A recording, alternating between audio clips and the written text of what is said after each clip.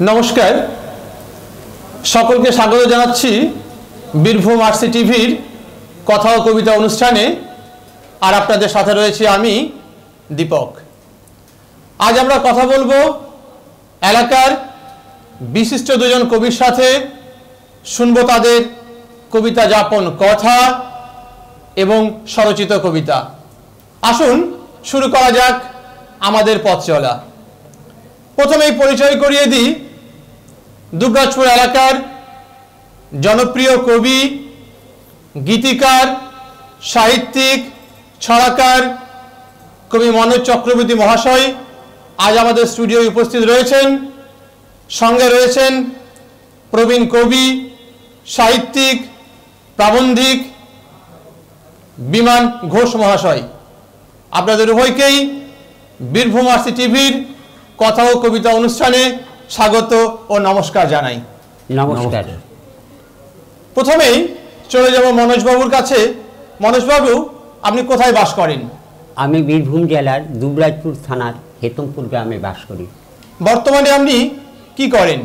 বর্তমানে আমি একটা প্রাইভেট ফার্মে অ্যাকাউন্টেন্টের কাজ করি। কীভাবে আপনি সাহিত্যের অঙ্গনে প্রবেশ করলেন? আমার সাহিত্যের অঙ্গনে প্রবেশ করা আমার মায়ের হাত ধরেই। কেননা মা ছোট থেকেই আমাকে কবিতা লেখা শেখান। আর প্রথম সাহিত্যের প্রকাশ হয় আমার হেতমপুর হাই স্কুলে এইটে পড়ার সময়। প্রথম পত্রিকা প্রকাশ করি বর্তিকা নামে একটি, দেয়াল পত্রিকা। সেখানে ছিল স্বনামধন্য আমার বন্ধুগণ মানস ভান্ডারী মহাশয়। তাহলে খুব শৈশব থেকেই আপনি শিক্ষার, সাহিত্যের একটা বাতাবরণ পেয়েছেন। বিভিন্ন জ্ঞানী মানুষের সাথে আপনার যোগসূত্র এবং আমরা লেখা আরও আরও উত্তরোত্তর বৃদ্ধি পাচ্ছে এবং আরও যেন বৃদ্ধি পাই, সেটা ঈশ্বরের কাছে আমরা প্রার্থনা করি। এখন আপনি শ্রোতা দর্শক বন্ধুদের আপনার একটা সুন্দর কবিতা পাঠ করে শোনান। আমি যে কবিতাটা বলব, সেটার নাম আয়না, পিতা পুত্রের সম্পর্কের কথা। বাবা, আমি হচ্ছি এখন বড় আর খোকা খোকা বলে, চলতে পারি আমি এখন একা পড়ব না আর তোমার আঙুল গলে। তোমার বুকের কোমল ছোঁয়া ছেড়ে শক্ত মাটির ওপর আমার পা।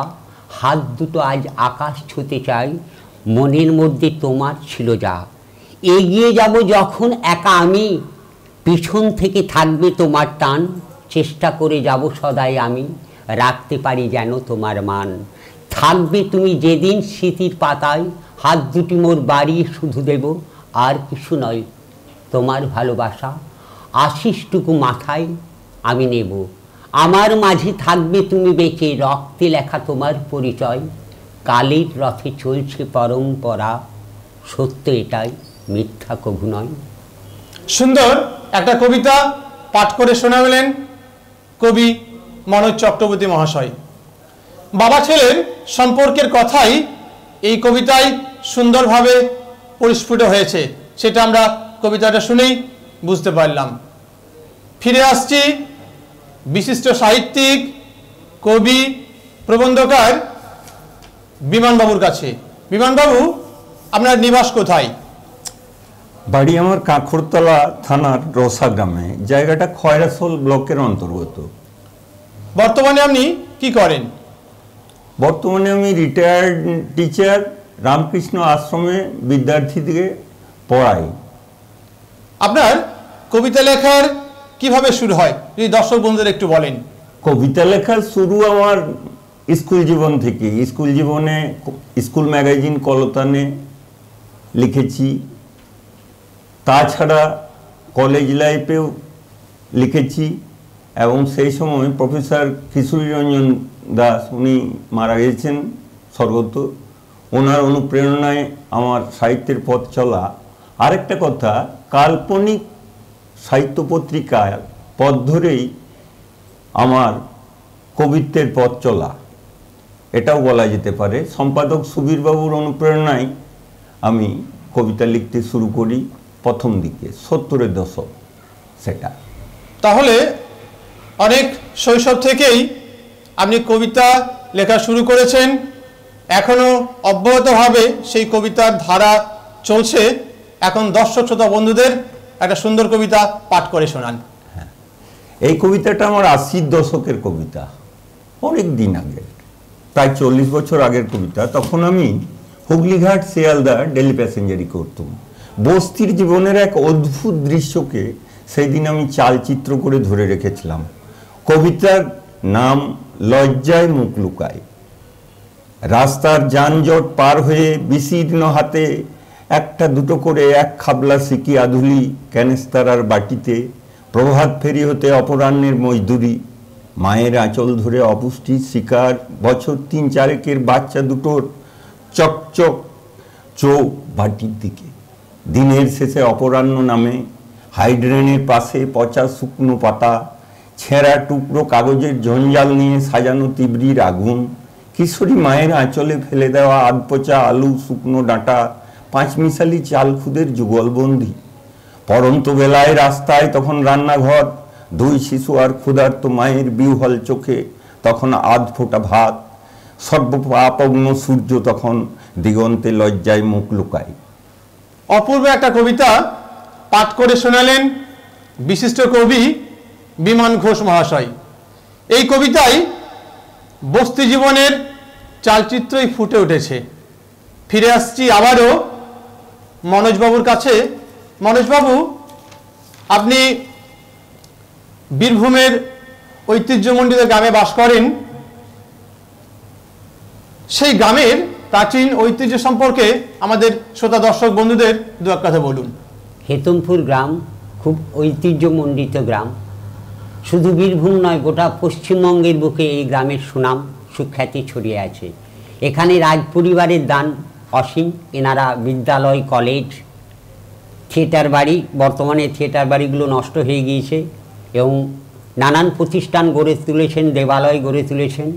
এছাড়াও ওনারা হেতমপুরে সরস্বতী মেলার মানে প্রচলন করেছিলেন, যেখানে আমরা এখনও সাহিত্য সভার আয়োজন করে থাকি। তাহলে মনোজবাবু বীরভূমের ঐতিহ্যমণ্ডিত গ্রাম হেতুমপুরে বাস করেন। হেতুমপুরের প্রাচীন ইতিহাস সম্পর্কে আমরা একটু শুনলাম। এখন মনোজবাবুর কাছে একটা সুন্দর কবিতা শুনব। এই কবিতার নাম সময়। সময় অর্থাৎ মহাকাল। এটা আমার কাব্যগ্রন্থ ছন্দনীরের সাত নাম্বার কবিতা। সময়। জন্ম থেকেই ছুটে চলা শুধু পাইনি কবিশ্যাম কোনো দিন কেউ বলেনি আমাকে, থাম বাছা, তুই থাম। নেই কো আমার জন্ম ঠিকুজি নেই কোনো পরিচয়। অতীতকে ফেলে সামনে এগোই, নেই মনে কোনো ভয়। কেউ কেউ বলে সময় আমাকে, কেউ বলে মহাকাল। সূর্য চলে আমার নিয়মে, করে পূব পশ্চিম লাল। আমার আদেশে ওঠে যে তুফান, ধ্বংস কিংবা সৃষ্টি। আমাকে মেনেই প্লাবনের জল কিংবা গণা বৃষ্টি আমি ঠিক করি কালের চাকাটা কখন কখন ঘুরবে। আমি লিখে দিই কপালে সবার, জন্মে কখন মরবে। নয় ঈশ্বর, পরমেশ্বর, দেখলে আমায় নমি। জানে যেতে কাল, আমি মহাকাল, শুরু থেকে আজও আমি। সময় কাউকে অপেক্ষা করে না। সময় কখনো দাঁড়িয়ে থাকে না। সময় হলো মহাকাল। সময় আমাদেরকে সব কিছু বুঝিয়ে দেয়। এই কবিতায়, কবি সে কথাই বলেছেন, ফিরে আসছি বিশিষ্ট কবি, সাহিত্যিক বিমানবাবুর কাছে।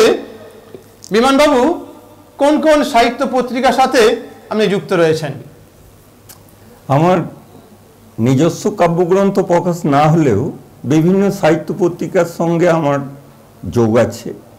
যেমন ধরুন কাল্পনিক সাহিত্যলোক সৃজনী ইলামবাজার বার্তা আলোর দিশা মৃগয়া বীরভূমি ডুবুরি এগুলোতে সবগুলোতেই একরকম আমার লেখা বেরোয়। আপনি তো কোনো কাব্যগ্রন্থ প্রকাশ করেননি। আপনার কি কাব্যগ্রন্থ প্রকাশ করার কোনো ইচ্ছা রয়েছে? হ্যাঁ একটা সুপ্ত ইচ্ছা আমার ছিল বড় দুঃখ। স্বর্গত কিশোরীরঞ্জন দাসের হাত ধরেই আমার কবিতা সংকলন বের হওয়ার কথা ছিল। উনি মারা গেলেন আর হলো না। এটাই আমার দুঃখ জীবনে। আমরা আশা রাখি কবি বিমানবাবু তার নতুন কাব্যগ্রন্থ খুব শীঘ্রই বের করবে সেই সুযোগ যেন ঈশ্বর তাকে দেন। এখন কবি আমাদেরকে একটু উপহার দেবেন সুন্দর কবিতা। এই কবিতাটা একটা সময়েরই কবিতা শীতের ভোর। নিজের জীবনের যেন চালচিত্র। ভোরের আলো না ফুটতে আলো যায়, তারপর বারবার যায়। উষার বিছানা ত্যাগীদের বিপদ। পৌশালী শীতের সকাল, পা মোজা, হাত মোজা, টুপি আর গরম জামার বোঝা। দোতলার বারান্দায় একা আমি ক্রিকেট ফিল্ডারের মতো দুধের প্যাকেট লুপে নিতে হয়। সকালবেলার সূর্য ঘুম ঘুম চোখে আলো দেয়, কপাটের দুর্বল খাঁজে গোঁজা থাকে খবর কাগজ। চোখ বোলাতেই দেখি টাটার ন্যানো গাড়ির ছবি, আত্মঘাতী বোমা আর ধর্ষণের খবর। প্রতিশ্রুতির জোর গলা রাজ্যের শিল্পায়নে যুবকদের মুখে হাসি ফোটাবেই। এ বিশ্বাস বুকে জমা রেখে দীর্ঘশ্বাস ছাড়ি।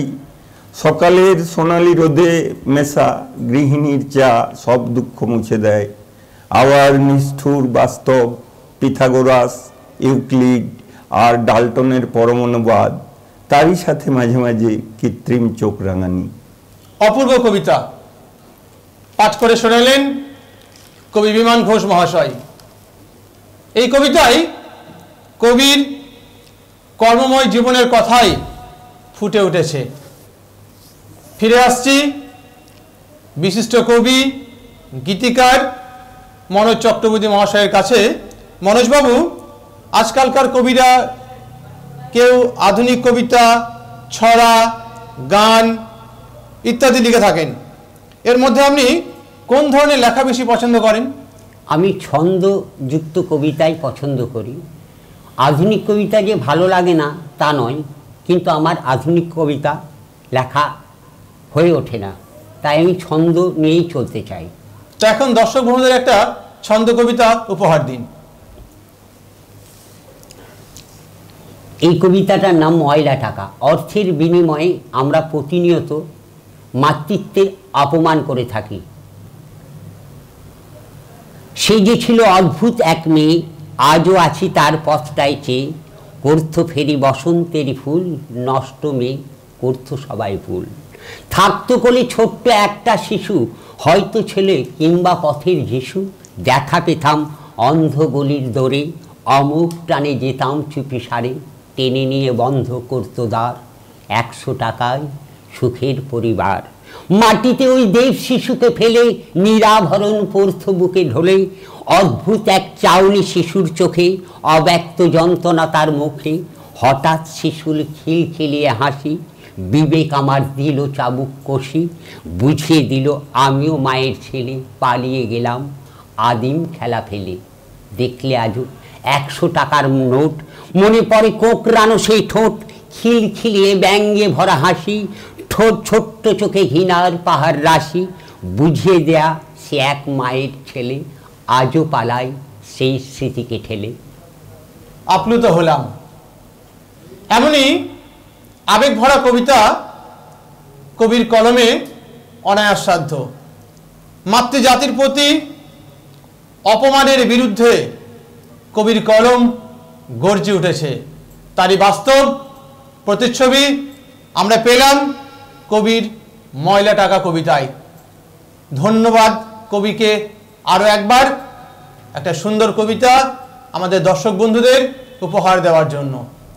ফিরে আসছি বিমানবাবুর কাছে। বিমানবাবু, আপনার পছন্দের কবি কারা এবং কেন? আমার পছন্দের কবি বলতে বিংশ শতাব্দীর চল্লিশ পঞ্চাশ দশকের সুনীল গঙ্গোপাধ্যায়, জয় গোস্বামী, জীবনানন্দ, এদের খুবই ভালো লাগে। ছোট ছোট ঘটনাকে নিয়ে এদের যে সমস্ত কবিতা, এগুলো আমার মনে দাগ কেটেছে। তাছাড়াও ছাত্র জীবনের কিছু কবিতা আজও আমার মনে আছে, যেমন ছাত্রধারা কালিদাস রায়ের, সত্যেন্দ্রনাথ দত্তের আমরা, রবীন্দ্রনাথের দুই বিঘা জমি এই কবিতাগুলো আজও আমার মনে কিন্তু দাগ কাটে। তাছাড়া সুনির্মল বসুর যেমন বিশ্বজোড়া পাঠশালা মোর সবার আমি ছাত্র। এই সবার আমি ছাত্র এই লাইনটা আমার খুবই ভালো লাগে। এখনও আমরা যেন ছাত্রই হয়ে আছি অনেক শেখার আছে। এখন আপনি দর্শক বন্ধুদের একটা সুন্দর কবিতা উপহার দিন। এই কবিতাটার নাম সেই মন্দ মেয়েটা। মেয়েটা মন্দ কিনা জানি না, কবিতার নামকরণ আমি সেই মন্দ মেয়েটাই দিয়েছি। শরৎবাবু রচলা বিজয়া, নারায়ণীর কথা বাদ দিয়ে আমায় নিয়ে একখানা কবিতা লেখো কবি। মন্দ মেয়ে কি কবিতার কাগজে ঠাঁই পাবে না? ধরো না, সোনাগাছির কুসুম, নয়নতারা বা মহাজনটুলির চাঁপা আমি। একরাশ বেল ফুলের মালা, গায়ে গন্ধ নিয়ে প্রদীপ ধরে রাস্তায় দাঁড়িয়ে আছি। কলঙ্ক ছড়ানোর মানুষ পেয়ে গায়ে মাখি কলঙ্কের পা, সাক্ষী, ভোরের শুকতারা, ক্লান্তি তখন হৃদয় জুড়ে। পায়ে পায়ে কখন পৌঁছে গেছি চেনা গলিটার কাছে? সবাই তখন ঘুমে অচেতন সর্বংসহা গঙ্গায় পাপ ধুয়ে পা রাখি নিজের আঙিনায়। জীবন বাজি রাখা পয়সায় ফুটবে ছজোড়া চোখে প্রাপ্তির হাসি। মাগো তোমাদের মুখের হাসির জন্যে একটা জীবন বাজি রাখলে কি বা আসে যায়? নতুন সোনালি স্বপ্ন আর একটা সোনা ঝরা সকালের প্রত্যাশায় এ আর বেশি কি? ও চলছে। আমি জানি না। বেশ কাট করো। এটা কাট করতে হবে তাহলে? বুঝতে পারল না। আমি মনে করছি যে বসে আছে টেক বলবে তখন আপনি শুরু করবেন। আচ্ছা। আচ্ছা। কবিতার নাম সেই মন্দ মেয়েটা। শরৎবাবু রচলা বিজয়া নারায়ণীর কথা বাদ দিয়ে আমায় নিয়ে একখানা কবিতা লেখো কবি। মন্দ মেয়ে কি কবিতার কাগজে ঠাঁই পাবে না? ধরো না, সোনাগাছির কুসুম, নয়নতারা বা মহাজনটুলির চাঁপা আমি। একরাশ বেল ফুলের মালা, গায়ে গন্ধ নিয়ে প্রদীপ ধরে রাস্তায় দাঁড়িয়ে আছি। কলঙ্ক ছড়ানোর মানুষ পেয়ে গায়ে মাখি কলঙ্কের পা। সাক্ষী ভোরের সুক্তারা ক্লান্তি তখন হৃদয় জুড়ে, পায়ে পায়ে কখন পৌঁছে গেছি চেনা গলিটার কাছে। সবাই তখন ঘুমে অচেতন সর্বংসহা গঙ্গায় পাপ ধুয়ে পা রাখি নিজের আঙিনায়। জীবন বাজি রাখা পয়সায়, ফুটবে ছজোড়া চোখের প্রাপ্তির হাসি। মাগো, তোমাদের মুখের হাসির জন্যে একটা জীবন বাজি রাখলে কী বা আসে যায়? নতুন সোনালি স্বপ্ন, আর একটা সোনাঝোড়া সকালের প্রত্যাশায়, এ আর বেশি কি? বাহ, সুন্দর একটা কবিতা পাঠ করে শোনালেন কবি বিমান ঘোষ মহাশয়। একটা মেয়ের সংসার বাঁচানোর তাগিদের জন্য যে জীবন যুদ্ধের কথা এই কবিতায় সুন্দরভাবে পরিস্ফুট করেছেন কবি বিমান ঘোষ। ফিরে আসছি মনোজবাবুর কাছে। মনোজবাবু আপনার ছড়া অত্যন্ত জনপ্রিয় এবং মজাদার হয়। এর রসদ কোথা থেকে পান? আমি এই ছড়া লেখাটা ছোটবেলা থেকেই মায়ের হাত ধরেই আমার শেখা। আমি যেখানেই অন্যায় দেখি আমি প্রতিবাদ করি কলমের মাধ্যমে। জানি না কতটুকু ফলপ্রসূ হবে তবু আমি লিখে যাই সেই প্রতিবাদের ভাষাগুলো আমার ছড়ার মাধ্যমে প্রকাশিত হয়। এখন দর্শক শ্রোতা বন্ধুদের দুটো ছড়া পাঠ করে শোনান। শিশুর সঙ্গের বিরুদ্ধে আমার লেখা ছড়া। শিশুর সং নয় কো আর দাও শিক্ষার আলো। ছাত্র যুব এগিয়ে আসুন গড়তে সমাজ ভালো। বাহ সুন্দর একটা ছড়া। আর একটা ছড়া শুনে নেব কবির কাছে।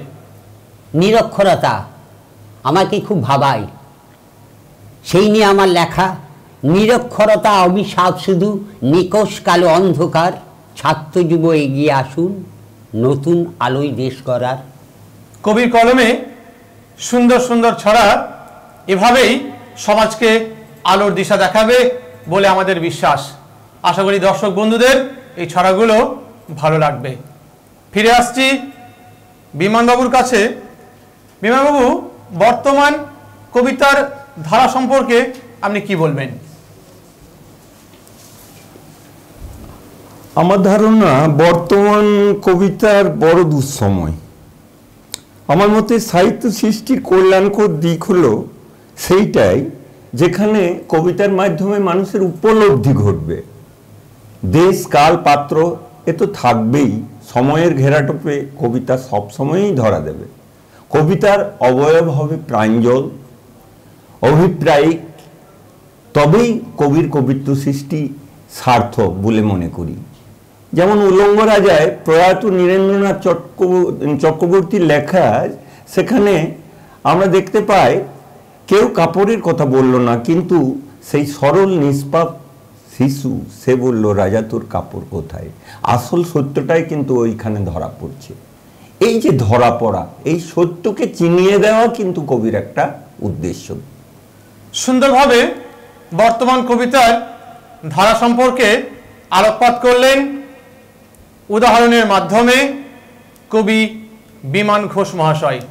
এখন কবির কাছে শুনতে ইচ্ছা করছে একটা কবিতা। এই কবিতাটা আমার পরন্ত জীবন বলতে বানপ্রস্থের কথা। অপেক্ষা কবিতার নাম। আলস্য মদিরা সাথী করে শয়ন কক্ষের ঘাটে আমি বানপ্রস্থকাল। কাঠের ভাস্কর্যগুলো মিটিমিটি চায় যেন কত যুগ পাড়ি দিয়ে অনন্ত শয্যায় দক্ষিণ জানালার রোদ বিছানায় লুটোপুটি খায়, পরন্ত শীতের শেষ ছোঁয়া বাঁশ পাতা নড়া শিরশিরে বাতাস। অনেক সবুজ মন ওই পথ ধরে দূরে কোন মেঘের রাজ্য পার হয়ে গেছে। হারিয়ে যাওয়া ইতিহাস চার দেওয়ালের কোণে এখনও লুকোচুরি খায়। দুরন্ত দুপুর বারবার মনে পড়ে সেই হারিয়ে যাওয়া মুহূর্তগুলো। এখানে অনেক কথা বলে যেন ক্ষয়ে যাওয়া দেওয়ালের কোনায় কোনায়। এইভাবেই আলো মুছে দেয় সন্ধ্যা, বেলা শেষের পাখিরা ঘরে ফেরে। অনেক হারানো কথা, কান্না, হাসি বুকে জমা রেখে চেয়ে আছি স্তব্ধ নীলিমায়। কবি, শিক্ষকতা জীবন থেকে প্রায় সাত বছর হলো অবসর নিয়েছেন। আর এই কবিতাটা কবির অবসর জীবনেরই চালচিত্র। সুন্দরভাবে কবিতাটা পরিবেশন করলেন বিশিষ্ট কবি বিমান ঘোষ মহাশয়। ফিরে যাব মনোজবাবুর কাছে। মনোজবাবু, আপনি কি কোনো কবিতা গ্রন্থ প্রকাশ করেছেন? হ্যাঁ আমি প্রথম কবিতা গ্রন্থ প্রকাশ করেছিলাম বিগত পাঁচ বছর আগে। কবিতা গ্রন্থের নাম হচ্ছে ছন্দনী। এবং এটি প্রকাশ করেছিলেন পশ্চিমবঙ্গের মৎস্যমন্ত্রী মাননীয় শ্রী চন্দ্রনাথ সিনহা মহাশয়। আপনি তো আলোর দিশা পত্রিকার সম্পাদক এবং বিভিন্ন পত্রপত্রিকার সঙ্গে আপনি যুক্ত রয়েছেন। তো সেই সম্পর্কে কিছু বলুন দর্শকবৃন্দদের। আমি আলুর দিশা পত্রিকা হেতমপুর গ্রাম পঞ্চায়েতের মাধ্যমেই প্রকাশ করে থাকি। দু হাজার তেরো সাল থেকে এবছর ছয় বছরে পড়ল আশেপাশের সমস্ত সাহিত্য অনুরাগীরা ওখানে লেখা দেন, আমি প্রকাশ করি এবং এবছর আর একটা পত্রিকার দায়িত্ব আমি পেয়েছি, নবদিগন্ত। দুটি পত্রিকা আমি দুর্গাপুজোর সময় বের করি। এবছরের পত্রিকা আলোর দিশার তা দেখালাম এবং আমার খুব ভালো লাগে এই পত্রিকাগুলো প্রকাশ করতে এবং সাহিত্যিকদের সঙ্গে যে জানাশোনা হয়, সেটা আমার প্রচণ্ড আনন্দ লাগে। আপনার পত্রিকা ছাড়াও কোন কোন পত্রিকার সাথে আমি যুক্ত রয়েছেন? আমি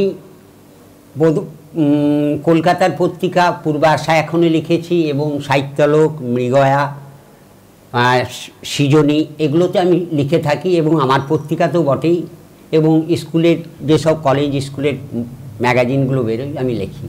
এখন আমি দর্শক বন্ধুদের একটা সুন্দর কবিতা উপহার দিন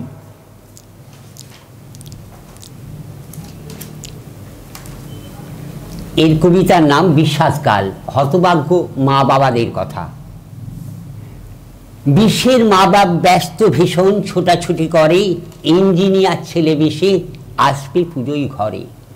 বাপ টেনেছে ভ্যান রিক্সা মা যে ঝিয়ের কাজ, তাই তো বিষে ইঞ্জিনিয়ার, বড় মানুষ আজ। বিষে খেত মুড়ির মোয়া, মা করছে জড়ো, বাপ আনছে ছোলা ভাজা, বোতলে আজ ভরো।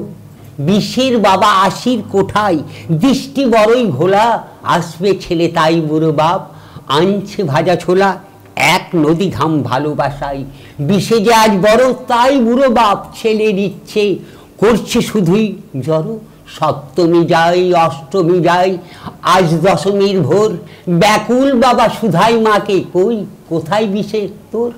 মা হেসে কয় ওগো বলতো বিষে আমরা ইষ্ট নাম, ঠিক তখনই ঘরে পিয়ন, হাতে বন্ধ খাম, লিখছে বিষে ভালো থেকো নিয়োগ প্রণাম, ব্যস্ত ভীষণ বৌমা আমি, ঘুরছি পুড়িয়ে ধাম। বুঝিয়ে বলো মাকে তুমি, দিলাম পাঁচশো টাকা, লক্ষ কোটির ভিড়ের মাঝে বিষের বাপ আজ একা, চিৎকার করে বিষের বাবা, ওরে বিষের মা তুই থাম। বিকিয়ে গেল বিষের মা বাপ শুধু পাঁচশো টাকা দাম। ওরে সবচেয়ে আজ সস্তা মা বাপ, শুধু পাঁচশো টাকা দাম, শুধু পাঁচশো টাকা দাম। আবেগবিহল আমরা হয়ে পড়লাম। এই কবিতাটা শুনে। হতভাগ্য, পিতামাতার কথাই এই কবিতায় সুন্দরভাবে ফুটে উঠেছে। আর সেই কাজটা যিনি করেছেন, তিনি আর কেউ নন। তিনি হলেন আমাদের স্টুডিওয় যিনি আজ উপস্থিত রয়েছেন, বিশিষ্ট কবি, সাহিত্যিক, ছড়াকার, গীতিকার কবি মনোজ চক্রবর্তী মহাশয়। ধন্যবাদ আরও এক, এত আরও একবার এই সুন্দর কবিতাটা শোনানোর জন্য। ফিরে আসছি বিমানবাবুর কাছে। বিমানবাবু, কবিতা ছাড়াও আর কি কি বিষয় আপনার কলমের লেখনী সাধ্য? কবিতা ছাড়া আমি গল্প লিখি, প্রবন্ধও লিখি দু একটা গানও যে লিখি না তা নয় গল্প তো আমার খুবই ভালো লাগে। বিশেষ করে সাহিত্য লোকে আমার গল্প বেরিয়েছিল সেজ ঠাকুরনের কুলিন বর। গল্পটা জনপ্রিয়তা লাভ করেছিল। বা ডুবুরি পত্রিকায় বহুরূপী গল্প আমি পুরস্কৃত হয়েছিলাম একবার। এবং প্রবন্ধ তো অনেকবারই আমি বীরভূম সাহিত্য পরিষদ থেকে পুরস্কৃত হয়েছি। এগুলো ভালো লাগে। তবে কবিতার স্পেসটা কম। যার জন্য কবিতাটা লেখা বেশি হয় এবং পত্রিকায় জায়গাটাও পাওয়ার সুযোগটা বেশি থাকে। গল্প সব কবিতায় ঠাঁই দিতে পারে না কারণ ছোট লিটিল ম্যাগাজিন যথেষ্ট ব্যয়সাধ্য। এখন দর্শক বন্ধুদের একটা কবিতা উপহার দিন। হ্যাঁ এই কবিতাটা আমার দেশের বর্তমান পরিস্থিতিকে নিয়ে আমার এক জিজ্ঞাসা। এত রক্ত কেন? বারবার মনে জাগে একই কথা, এত রক্ত কেন? জাতপাত নিয়ে নজরুল তো বলেছেন শেষ কথা। মরিছে মানুষ, সন্তান মোর মার। ধর্ম ধর্ম নিয়ে কেন এত তাণ্ডব? যত মত, তত পথ রামকৃষ্ণ বলে গেছেন। তবুও মন্দির কেঁপে ওঠে মিসাইলের গর্জনে। সীমান্তে শহীদ হয় জোয়ানের দল। সীমান্ত রক্তাক্ত হয় বারবার। ইতিহাসের তারিখের সীমারেখায় ভাই শত্রু হয়ে যায়। একদিন সব ছিল। বারদুয়ারি ঘর, নীলকণ্ঠ পাখির ডাক, ভাটিয়ালির গান, ইছামতির দুকুল উপচে যেত, আজানের সুর, মধুমাখা হরিনামে মিলেমিশে একাকার, শিশুরা প্রাণের উচ্ছল আনন্দ নিয়ে সবুজ ঘাসে দৌড়াতো, বিষাক্ত বারুদের গন্ধে সব বিশ্বাস ভেঙে চুরমার ভাই ভাই ভাগ হয়ে গেল। সাম্প্রদায়িক বিষবাষ্পে সবুজ পৃথিবী ধূসর হয়ে যায়। বারবার মনকে প্রশ্ন করি, এত রক্ত কেন? মাগো, হাজার শহীদের রক্তের অঞ্জলি তবে কি বৃথা হলো? এসো, সবে মিলে একটা নতুন পৃথিবী গড়ি যেথা স্বার্থ থাকবে না, সন্ত্রাস থাকবে না, থাকবে শুধু মানুষ। মাথার উপর নীলাকাশ, শিশির ভেজা সবুজ ঘাস দ্বিধাহীনভাবে সবাইকে জড়িয়ে বলতে পারি, আমরা সবাই মানুষ, সেই অমৃতের সন্তান। বাহ, রক্তক্ষয়, হানাহানি থাকা সত্ত্বেও কবির ইচ্ছা, শান্তির পৃথিবী আবার গড়ে উঠুক। সেই আশার কথাই কবি শুনিয়েছেন, তার কবিতায় কবিতার নাম, এত রক্ত কেন? ফিরে আসছি কবি মনোজবাবুর কাছে, মনোজবাবু কোনো সাহিত্যানুষ্ঠানে যখন আপনি কবিতা পাঠ করেন বা গান করেন, তখন আপনার অনুভূতি কেমন হয়? নিজের সৃষ্টিকে অন্যের সঙ্গে ভাগ করে নেওয়ার মতন আনন্দ মনে হয়, সবারই হয়। এবং এই আনন্দ অনুভূতি ঠিক প্রকাশ করা যায় না। তবে খুব ভালো লাগে যখন আমার সৃষ্টি সবাই বাহবা দেয়। সমালোচনা করে তখন নিজেকে খুব আনন্দিত মনে হয়। সুন্দরভাবে ব্যক্ত করলেন কবি নিজের লেখা পাঠ করা কারই না ভালো লাগে। কবিও তার থেকে ব্যতিক্রম নন। এখন কবির কাছে শুনে নেব আবারও সুন্দর দুটি ছড়া। রক্তদান। রক্তের অভাবে অনু অনেক মানুষ মারা যায় তাই আমার কলম সেই রক্তদানের পক্ষে। তিন মাসেতে যদি দাও কয়েক ফোঁটা রক্ত বাঁচবে জীবন অন্য জনের তুমিও থাকবে শক্ত। আরও একটা কবিতা শুনে নেব কবির কাছে। আমরা পুত্র লাভের আশায় প্রতিনিয়ত দেখছি কন্যা ভ্রূণ হত্যা। প্রতিনিয়ত কন্যা ভ্রূণ হত্যার আমরা খবরের কাগজ টিভিতে পা দেখতে পাই। তার বিরুদ্ধে আমার কলমের লেখনী কন্যা ভ্রূণ নয় খুন নারী মায়ের জাত নারীবিহীন এই ধরাতে আসবে কালো রাত। কি সুন্দরভাবে ছড়া লিখেছেন এখনও লিখে যাচ্ছেন কবি, যে ছড়ার মধ্যে সমাজ সচেতনতামূলক কথা ফুটে উঠেছে। ধন্যবাদ কবিকে। ফিরে আসছি বিমানবাবুর কাছে। বিমানবাবু, জীবনের অন্যান্য কাজের ফাঁকেও কীভাবে সাহিত্য চর্চার জন্য সময় বের করেন? যদি দর্শক বন্ধুদের একটু বলেন। সাহিত্য চর্চার সময় নির্দিষ্ট কোনো আমার নাই।